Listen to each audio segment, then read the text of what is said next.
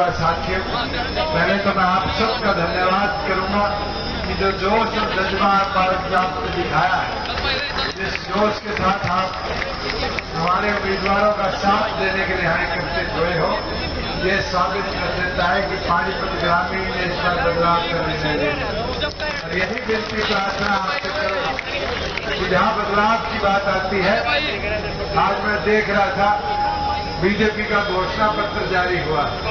कई पत्रकार साथी।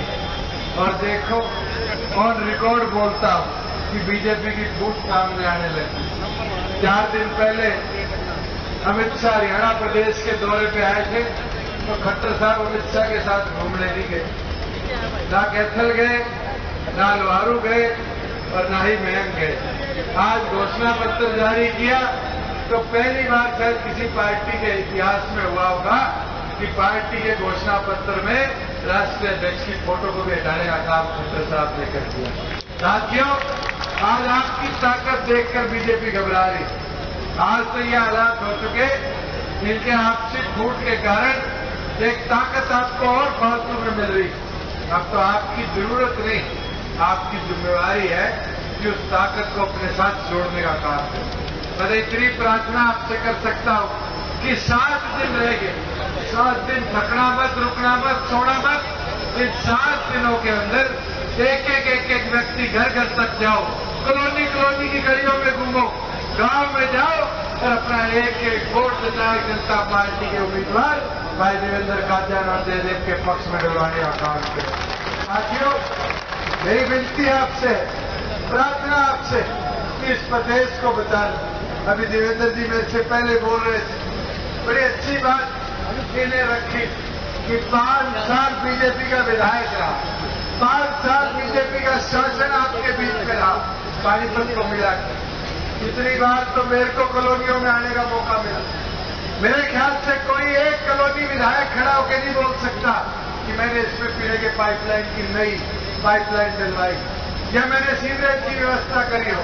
मुझे याद है पिछले दिनों जब मैंने आपके छह गाँव और दो कॉलोनियों के प्रोग्राम किए थे, एक एक फुट पानी कॉलोनियों में खड़ा था। लोगों को रास्ता भी कोई एक किलोमीटर, डेढ़ किलोमीटर दूर का वहाँ पर जाने के लिए लेके आना पड़ता। साथियों, वही व्यवस्था आज शहर की। वही व्यवस्था आज गाँव की। गंदे पानी की निकासी की ये हालात है कि आज गंदे पानी की निकासी के लिए कोई एक कदम भी सरकार को उठाने का काम नहीं पैसा बहुत कमाया। स्वच्छ भारत के नाम पे सेस ले लिया दो दो रुपए। कह दिया, जुर्माने करे जाएँगे, गरीब आदमी को तो पैसे के ऊपर, उसके ऊपर बोझ बढ़ा दिया गया। अभी एक हमारा साथी मेरे को सुझाव दे के गया लिखी कहता, कि कितना भेदभाव है ग्रामीण के लोगों के साथ, खासतौर पर कलौती वालों के साथ, कि हुड्डा सेक्टर की रजिस्ट्री जब होती है तो वो तो डेढ़ सौ रुपए के हिसाब से गज के हिसाब से होती है।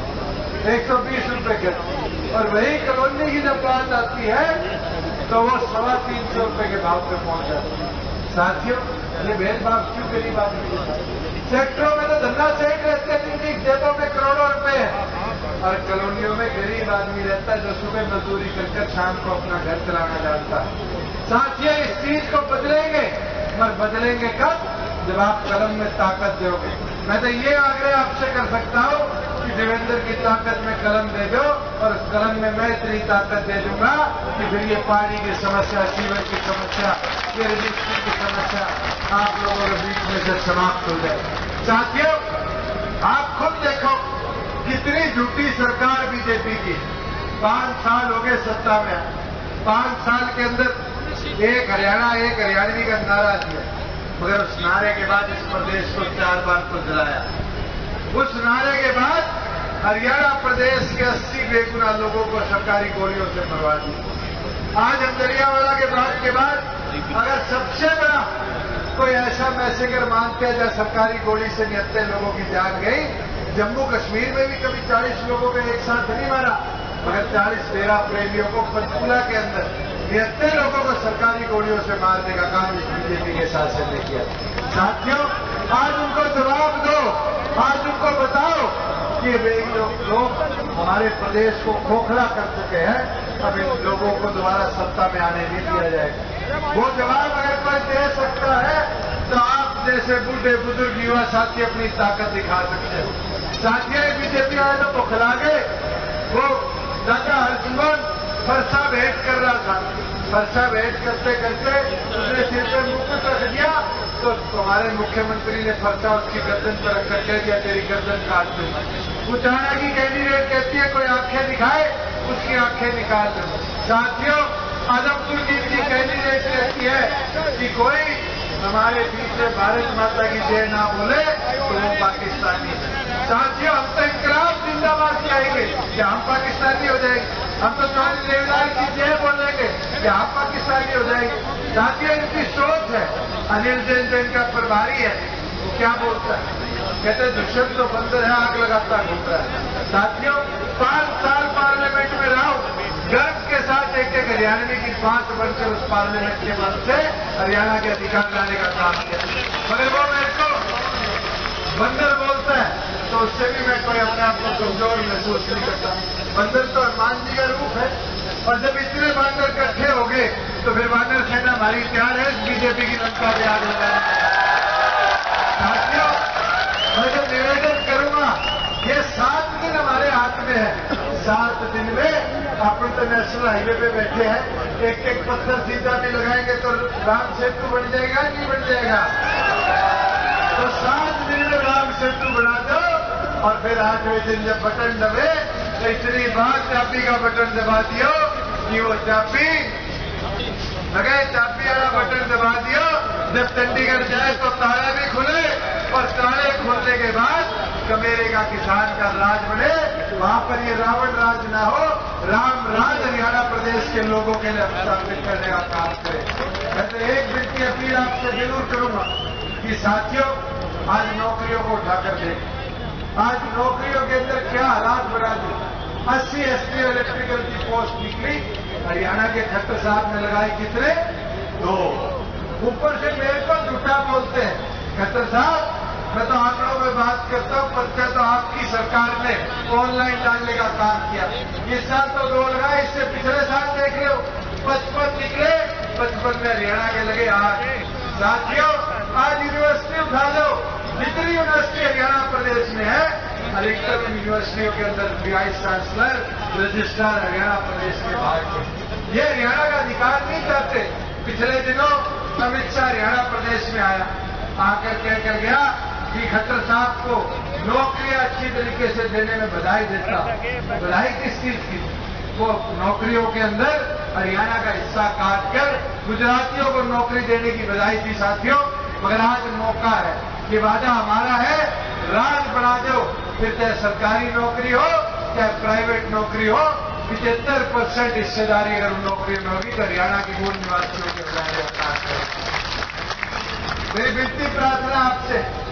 ये लोग आकर अब दुष्प्रचार शुरू करें। अभी तो आए नहीं शायद कल या परसों आना मोटा भाई, छोटा भाई दोनों हरियाणा में आए। आगे बात करेंगे। हमने 370 हटा दी बात करेंगे राष्ट्र की।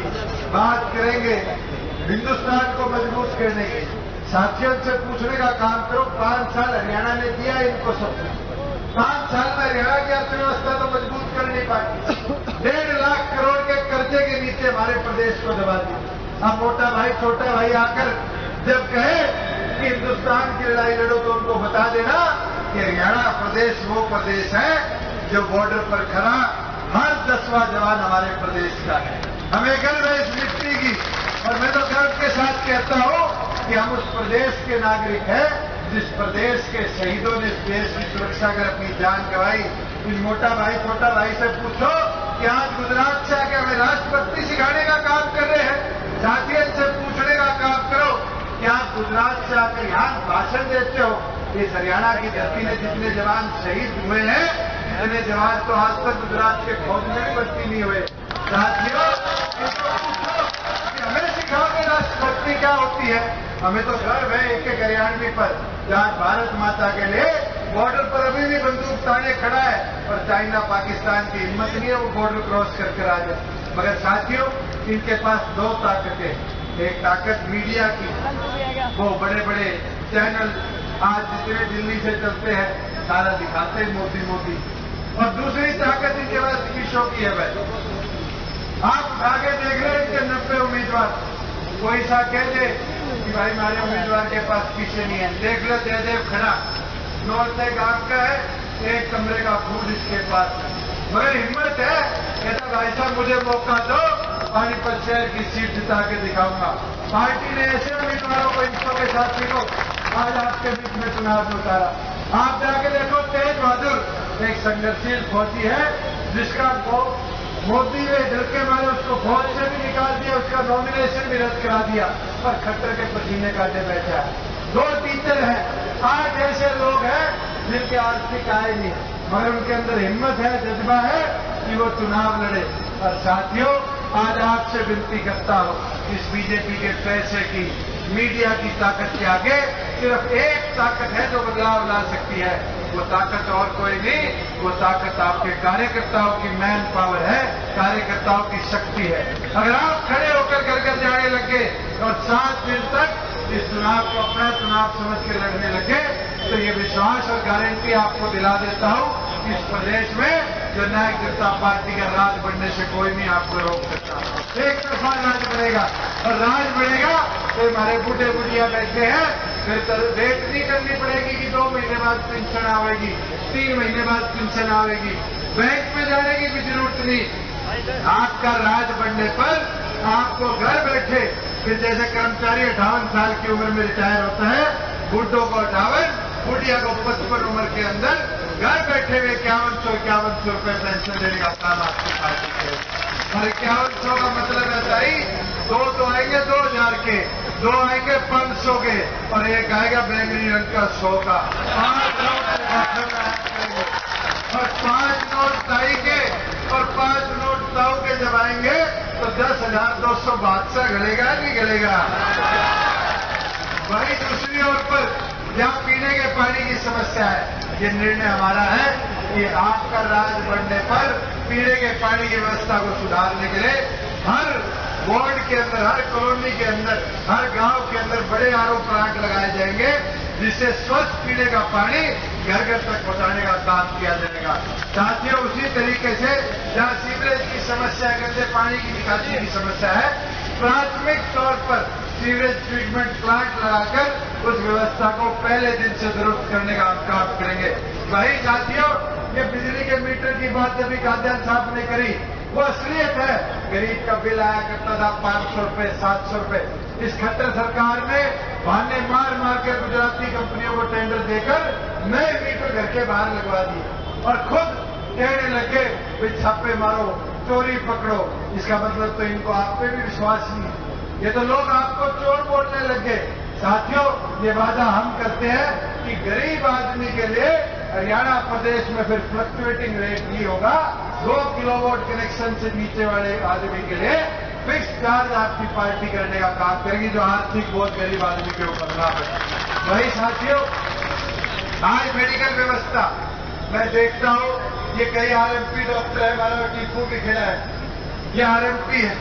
ये लोग पिछले चुनाव में सारे प्रदेश के खट्टर साहब के पीछे लगे कि हमारे डॉक्टरों का भला कर देगा।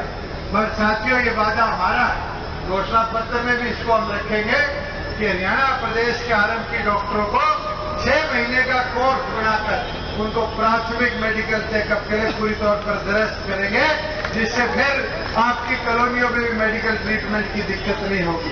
साथियों, एक वादा और मैं आपको कर कर जाता हूँ। आज कैंसर जैसी, काले पीड़े जैसी बीमारी परिवार में पहुँच चुकी है, हर घर में पहुँच चुकी है।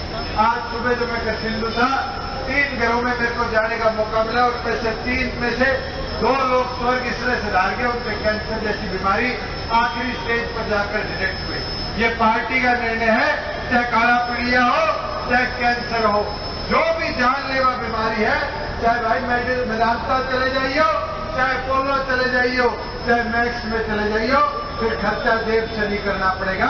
जानलेवा बीमारियों का पूरा खर्चा आपकी सरकार और मेरी तो विनती प्रार्थना आपसे है, पार्टी की सत्रह घोषणाएँ, सत्रह की सत्रह घोषणाएँ, घर घर तक जाकर आप सब अपने वर्कर भाई मिलकर अगले सात दिनों में पहुँचाने का काम करें। आप हमारे बीच में अर्जुन नगर के एक्स एमपी भाई बिट्टू चौधरी जी भी हमारे साथ आए हैं, भाई तेजवीर पंचाल जी भी आए हैं, मेयर जैन, मेयर दीन जी भी, निधि रानी जी भी, ये तो तमाम साथी आज हमारे साथ जुड़े हैं। मैं इनका भी स्वागत करता हूँ और एक ही निवेदन करूँगा, भाई चाबी का चुनाव चिन्ह तो आपको मिल गया, मगर ये चाबी चंडीगढ़ के ताले को खोलेगी ये महिलाओं को सुरक्षा देगी, व्यापारी को सुरक्षा देगी, किसान को खुशहाली देगी, आज का मेरे वर्ग के हाथ में रोज़गार का प्रावधान देने का काम करेगी। इसलिए आपसे निवेदन है कि किस तारीख को इतनी चाबी के आगे वाला बटन दबा दो, कि जब 24 तारीख को मशीन टी टी करे तो बीजेपी वाले फिर पिछहत्तर पार नहीं की बात ना करे इनको यूपी यमुना बॉर्डर पार के आगे छोड़ के आने का आप करोगे। तुम्हारा साले आए आप सबका बहुत बहुत धन्यवाद।